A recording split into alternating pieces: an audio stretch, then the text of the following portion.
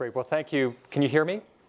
Okay, great. Thank you very much, Tom, for the kind introduction. Thank you to, to you and Tina for the, the invitation. It's really great to be here and have the opportunity to share a little bit about my background and, and a few of my thoughts uh, about entrepreneurship. Um, I thought that maybe what I do, uh, we have a limited amount of time, just maybe give a little bit of background on myself, my trajectory, and then uh, uh describe, you know, try to, to pull out a few of the lessons that I've learned um, about uh, uh, building and uh, leading um, organizations uh, that might hopefully be of some use to, to some of the members of the audience. Um, so by way of, of, background, as Tom said, I've been very fortunate to have experiences both in academia and in the, the private sector.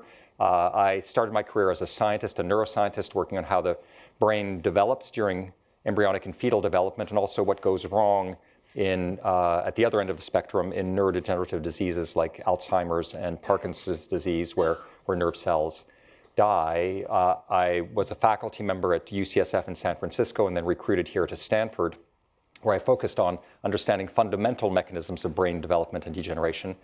But in the course of this, I was also very fortunate uh, being here in, in the Valley to interact with people in the private sector uh, and got involved in a a startup company as a scientific advisor, learned something about that, saw the power of the private sector, uh, and then co-founded a first company in 2000, uh, focused on uh, neurological disease, uh, where uh, I learned a lot about um, applying scientific knowledge to uh, difficult problems like developing therapies for poorly treated disorders.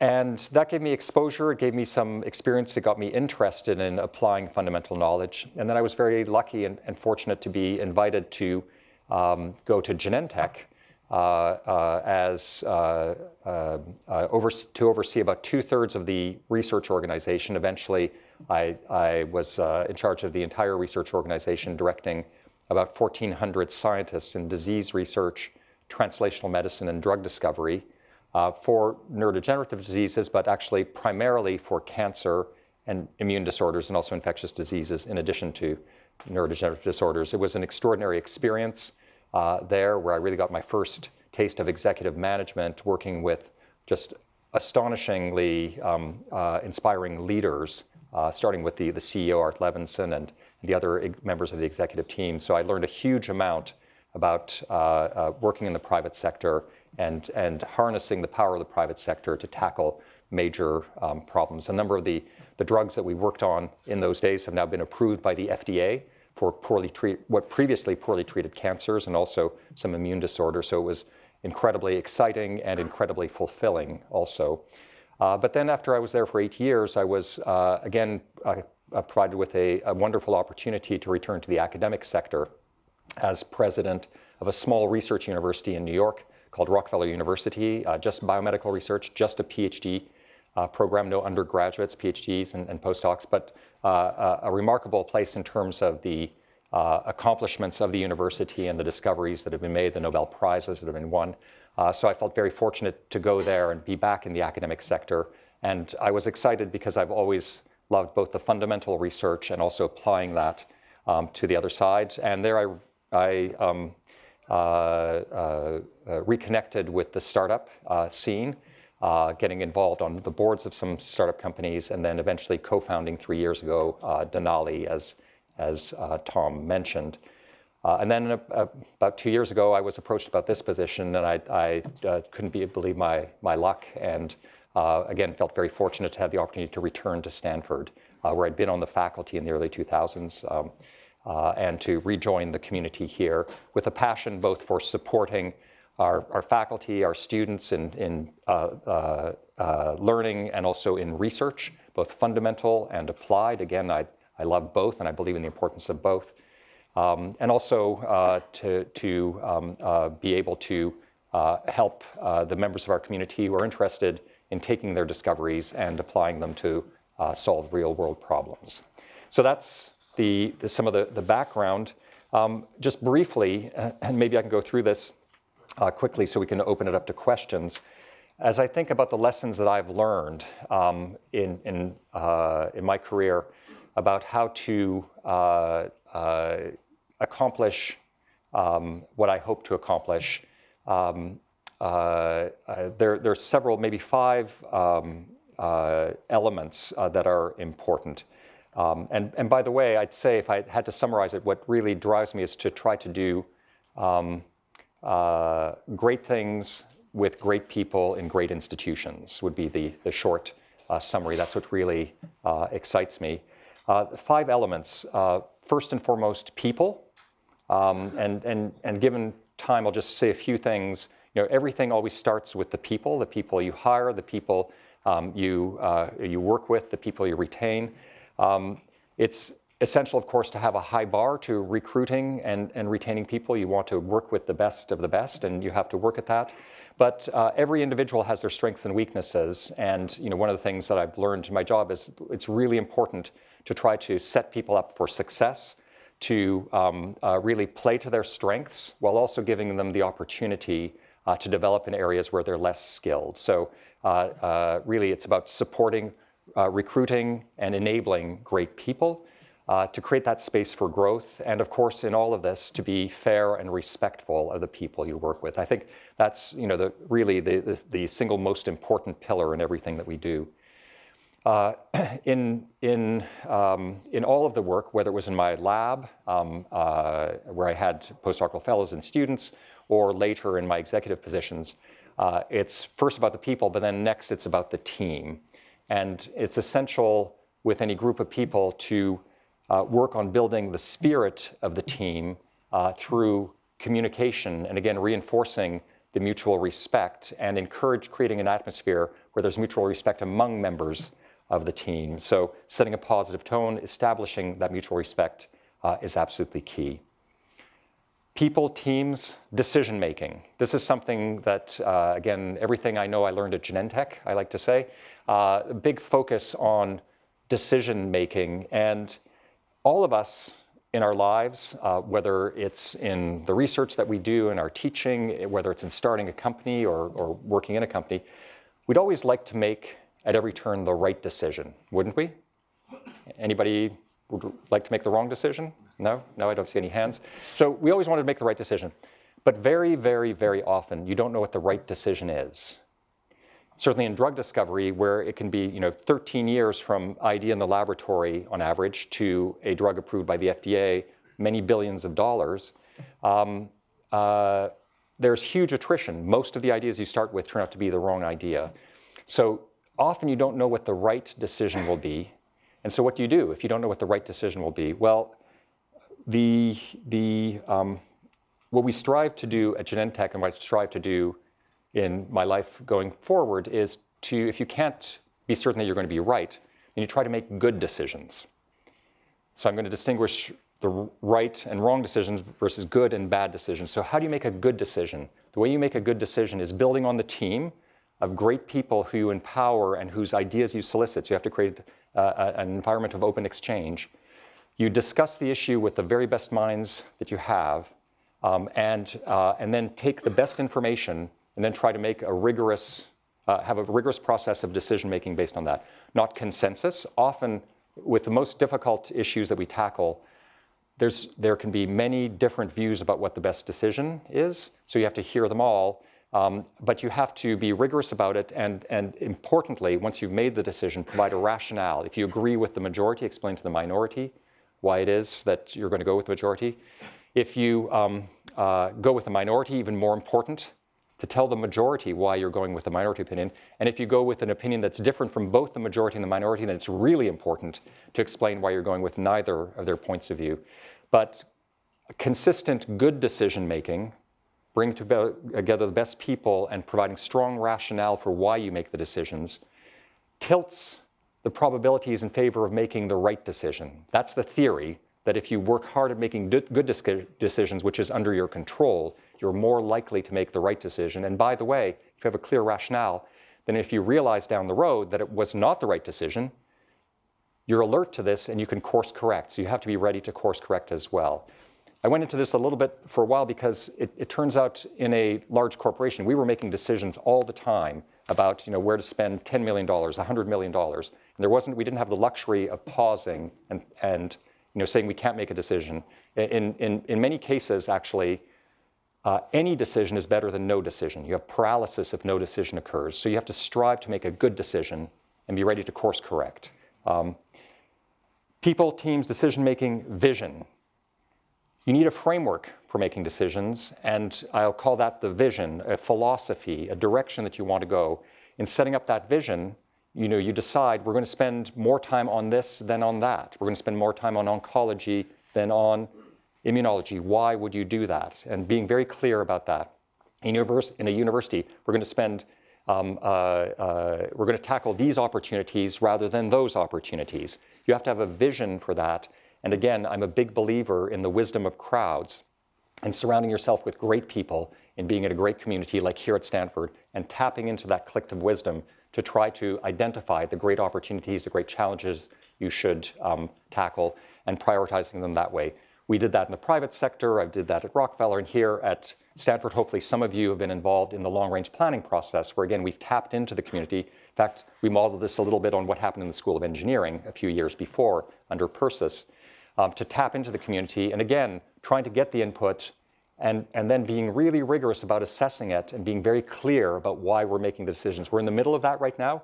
You will all be the judges in, in the next few months as we continue collectively to head towards a vision. But that is the model and that is the approach, and that's how um, uh, uh, we are doing this here. Uh, and I believe that it, again, it's um, uh, this is good decision making, and hopefully, by making good decisions, you ultimately make the right decision. Last point people, teams, decision making, vision, values. I should have started with values, but I think it's also very powerful to end with values. As you approach everything that you do, you have to be clear about what your values are and the values of your organization are. Uh, and maybe I can just end with how people ask me, well, what are your values?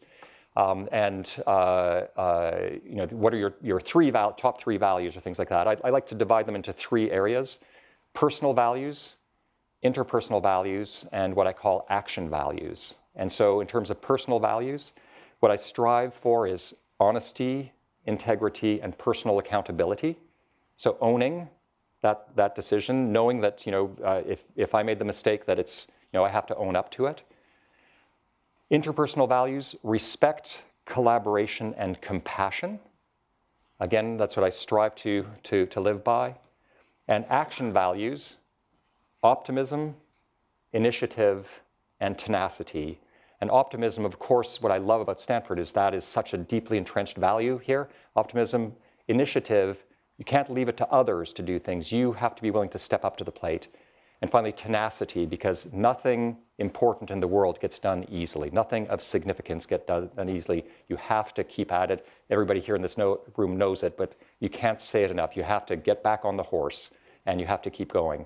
So Maybe I'll, I'll, stop here so we have some time for some questions, but people, teams, decision making, vision, and values are five important pillars in my worldview and how I approach my job. And again, um, I feel very fortunate to have had wonderful experiences at extraordinary places with great mentors and, and very inspiring leaders that I could learn from uh, and who modeled uh, great decision making um, and, uh, uh and great integrity um, and uh, a real a focus on serving the world. So thank you very much.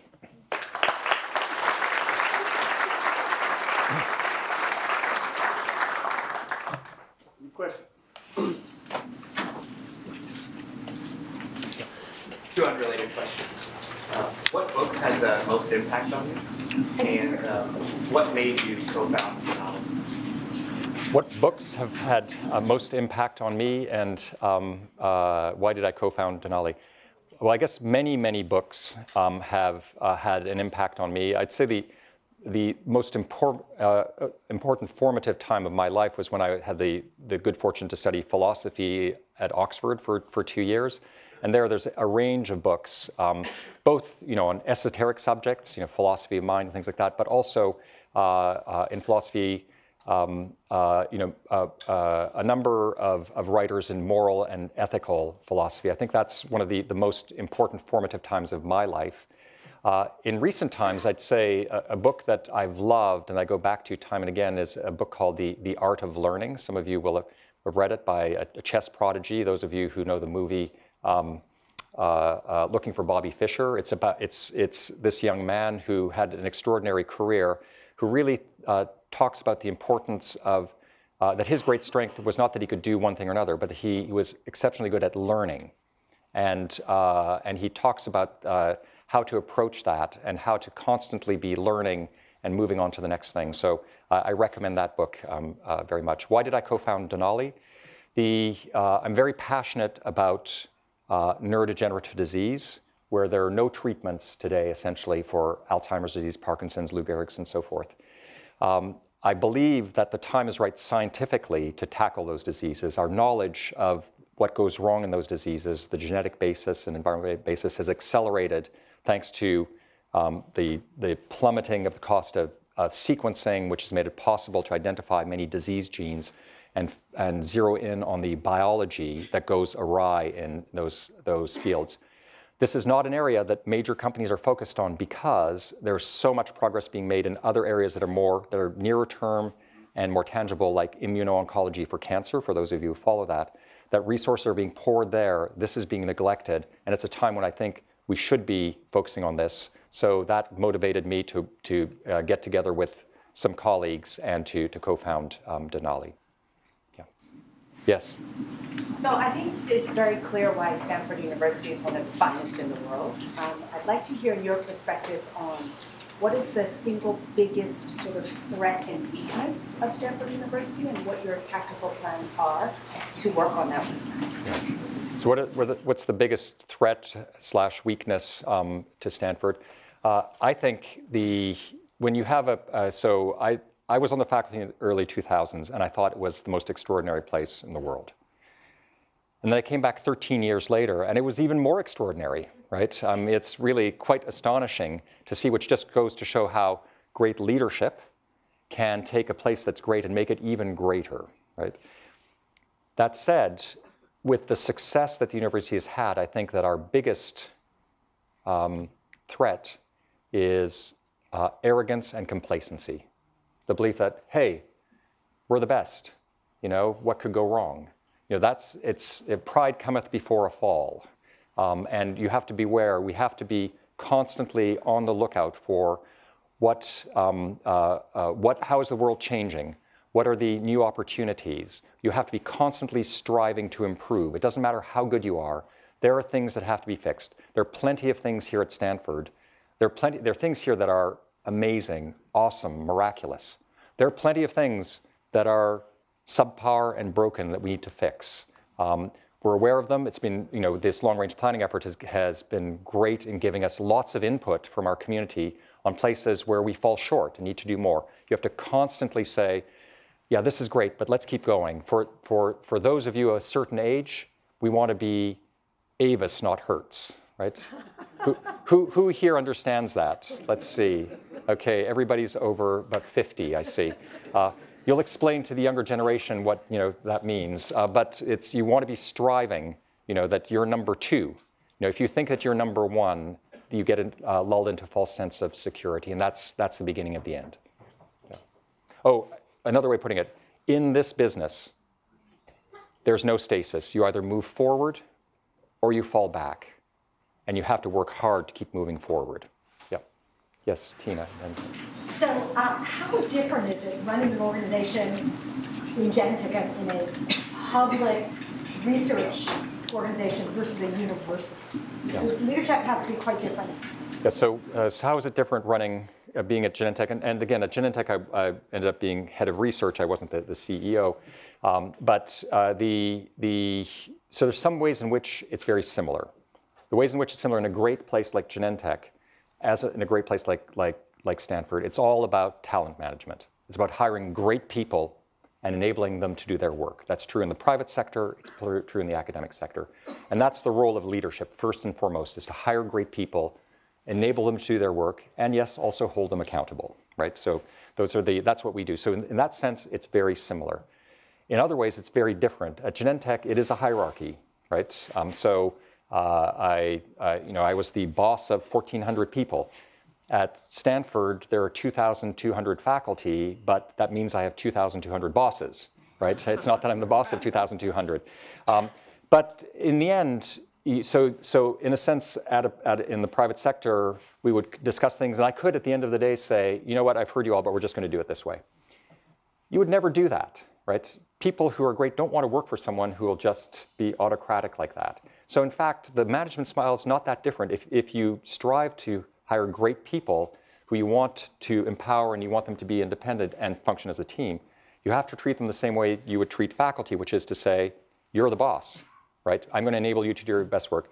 Yeah, we're a team, right? And yes, I do have the final word if, if it's necessary, but you never want to do that, right? Yes.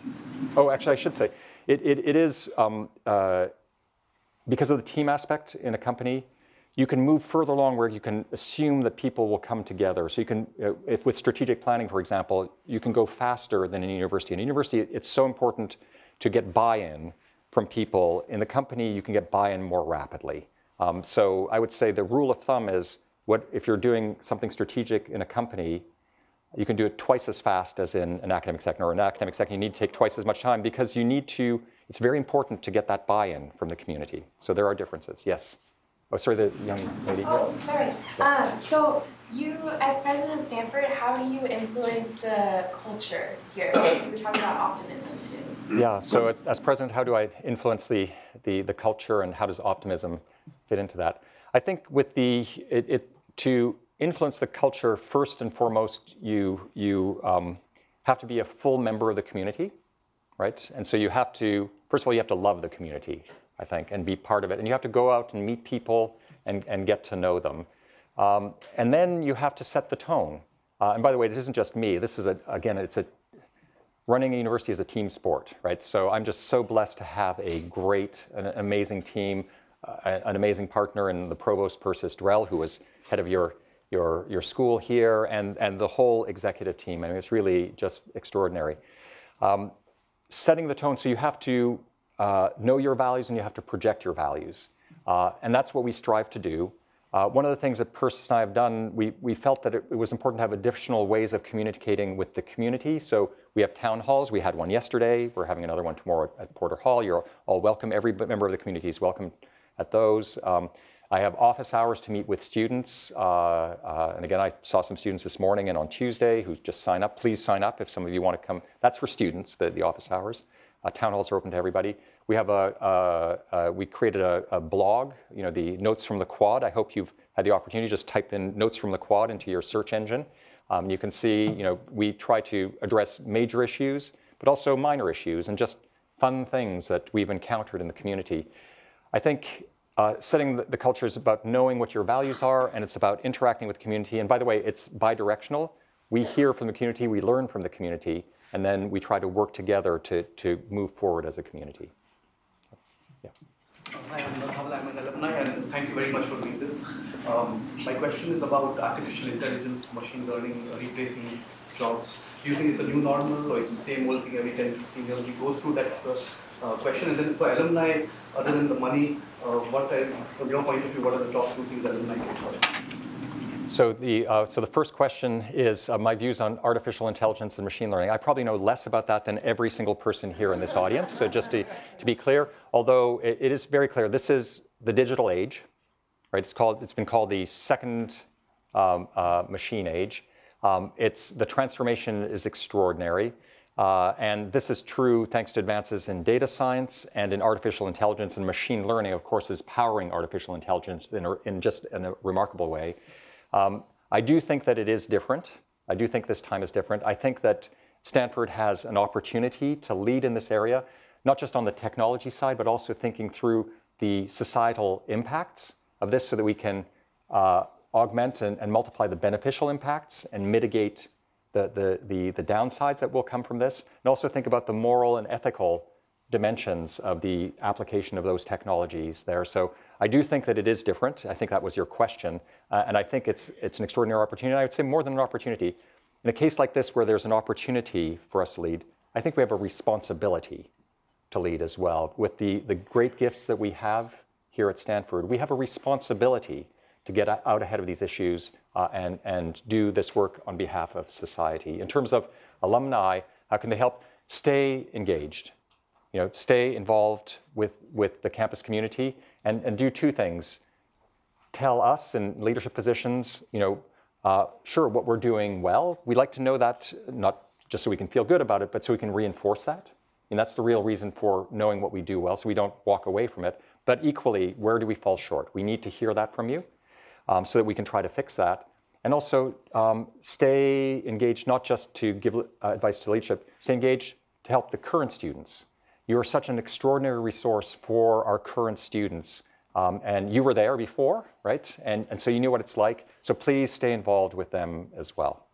Yes.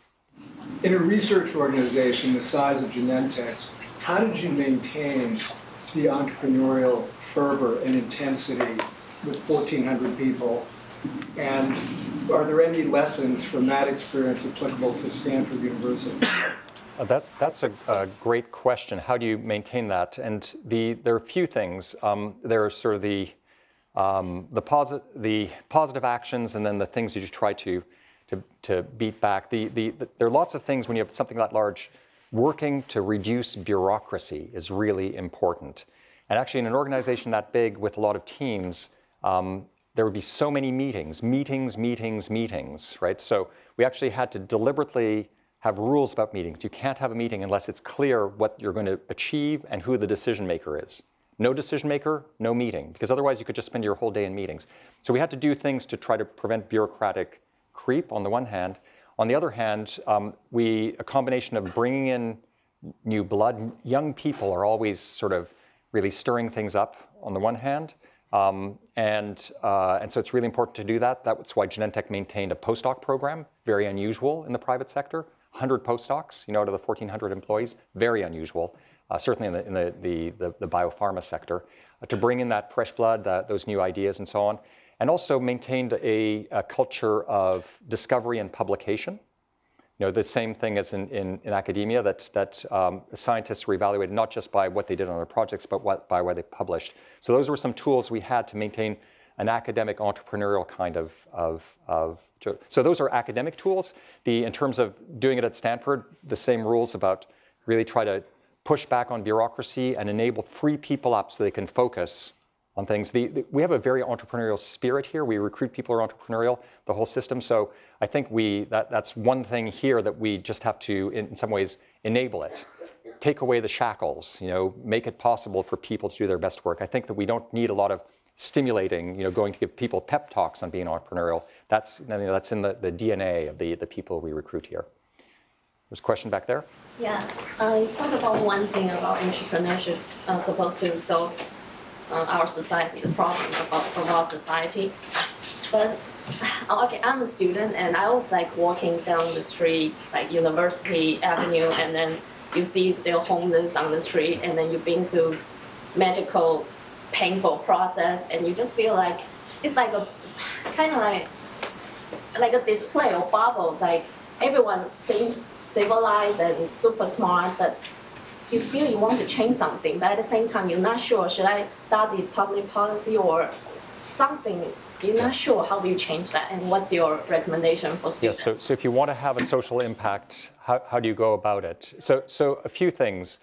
Um, you you uh, bring that spirit to whatever you do and be respectful of the fact that whether someone is doing fundamental research that it's not obvious what the impact is going to be or is directly you know working to help homeless people or working you know with patients in an intensive care unit that all of those are doing good in society so we have to be respectful of the fact that that um, all are possible that's number one number two um, there's the opportunity for multitasking so if you are doing fundamental research and you want to have something more tangible, there's so many service opportunities. There's so many people who could benefit from your direct activity. You know, go work with Habitat for Humanity on the weekend. Um, you know, there are many, many opportunities here in the community. And then the third point is life is long and lived in chapters. So you can do something for a while, and then you can change and do something else, and then change and do something else. And you don't have to always try to do everything in each chapter of your life. So I think bring that service of uh, that, that spirit of service and uh, to the community, uh, to the country, to the world. And uh, if it, it will infuse and try to have it infuse everything that you do, but don't feel that you necessarily have to do it all at once. Maybe we can take uh, two more questions and I will have to go. Yeah. So, oh, sorry, there's one back there, and then we can come to the front here. Yes. I would love to hear about um, your view on hierarchies, especially uh, in a place like this, um, where like a lots of young people with ideas um, and inspirations and yeah, just stuff on their mind want to maybe share it with you, and how do you approach that, and how do you yeah try to maintain a certain level of hierarchy maybe and Yeah. how So what's my view of, of hierarchy? Um, uh, uh, uh, hierarchy um, in, uh, in certain types of organizations is necessary just for the proper functioning of them, but it should really just be to grease the wheels and should never get in the way of the flow of information up and up and down, right? It just should be sort of just to make things easy so you know who the decision maker is and, and stuff like that. It's really important, whether it's in a big company or in a university, to be constantly reaching out to all layers of the organization. You know, the management by walking, as it's, um, it, it's often described. And uh, so I, I hope that it's pretty clear that um, uh, I'm not big on formality. Um, and you know, so I hope that if you have something you want to ask me, you, you wouldn't hesitate to just come up and ask me. And by the way, sign up for my office hours and be happy to talk to you about it. So very important to not have hierarchy in interactions. Very important to listen to people. There's so many brilliant people, and there's so many people who have great ideas, and so many people have so many experiences that it's important to hear in our community. You need to be open to all of that. Tina? Final question. Final question. Okay, so um, project yourself back a few decades. Yep. And uh, you're now back as a student. What do you wish you knew when you were 20? What do uh, that's the title of a great book, isn't it? I, what, what do I wish I knew when I was 20? and if it's not been written, maybe I should write it. No, damn, it's already been. 21. Yeah, that's right. Uh, uh, oh, there's so much I wish I knew. Um, I, so I was a first generation student. I went to college and I didn't know anything. I'd never met a scientist, but I thought I wanted to be a scientist. Um, and so the only thing I knew is that, boy, if I work hard and get good grades, probably good things will happen. And as a result, I didn't broaden my experience as much as I should. I wish someone had said, you know, actually getting a broad experience and learning lots of different things would be really valuable to you in the future. Just learning more physics, you know, might be useful to you as a physicist, but you know, life is long and you may not end up being a physicist. Check, you know, I didn't end up being a physicist. Um, so I wish that people had told me that. I, I wish I'd known that what I said earlier, life is lived in chapters. I was, you know, I was the most hyper anxious um, undergraduate you'd ever meet about uh, my future. Oh my God, I have to plan out the next 50 years of my life. Do not plan out the next 50 years of your life. Okay. Um, think you do have to think out. You have to be you have to be intentional about it. But you know you're going to it, almost certainly, almost certainly, what you think you're going to do for the next several years is not what you're going to be doing 15 years from now. Probably not even 10 years from now. Possibly not even five years from now. And that happened to me. I I was certain I wanted to be a physicist, but then I got exposed to biology and I had the opportunity to study philosophy. So I studied philosophy and biology. I became a neuroscientist. When I started at UCSF, my lab, I always wanted to be a research scientist. I was so happy. You told me 12 years from now you'll be a biotech executive, I would have laughed. When I started at Genentech, if you'd said, eight years from now you'll be president of a research university, I would have laughed. When I started at Rockefeller, if you'd said, five years from now you'll be head of a comprehensive university with undergraduates and professional schools, and I said, forget it, you know, because I, I was not thinking about those things. I just, uh, as I had, had the, great good fortune of working with amazing people and getting great experiences, I, it opened my mind to things that I didn't know I liked. I changed, the world changed, I gained experience, things that I was excited to do for a while, I realized that I, I was now excited to try something else. So keep an open mind. Um, and, uh, and by the way, the pace of change of the world is just accelerating. So this was true for me in a career that started, you know, 30, 40 years ago. It's even more so for the, the students who are going to set out today, that the pace of change is rapidly. So keep an open mind. Listen, watch how the world changes. Listen to yourself, right? Listen to your heart. Listen to your soul. And what's exciting today to you, 10 years from now, you may feel that you're ready for something else. Be open to that. So, Thank you so much. great. Thank you.